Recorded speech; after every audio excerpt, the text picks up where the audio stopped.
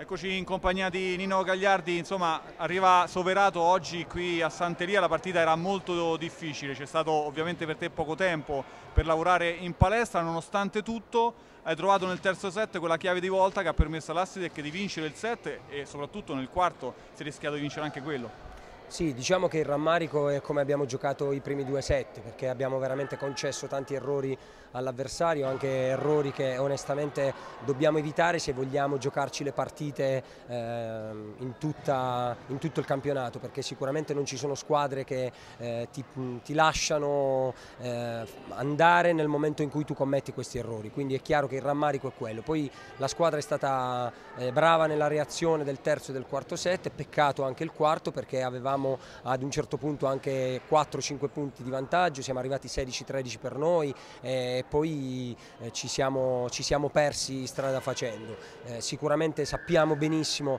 che c'è tanto lavoro da fare e noi siamo pronti a farlo per cercare ovviamente di venire fuori da questa situazione. Tra l'altro settimana difficile, insomma impegnativa perché c'è subito il turno infrasettimanale a Marsala, poi si torna qua contro Perugia, insomma poco, sempre poco tempo per lavorare in palestra, si deve dare il massimo. Sì, diciamo che quando c'è stato il cambio eh, eravamo consapevoli di fare tre partite in sette giorni, quindi la bacchetta magica non ce l'ha nessuno, però ehm, noi abbiamo l'obiettivo di lavorare giornata dopo giornata e settimana dopo settimana e poi vedremo dove, dove arriveremo. Bene, grazie e in bocca al lupo. Grazie a voi, viva il lupo.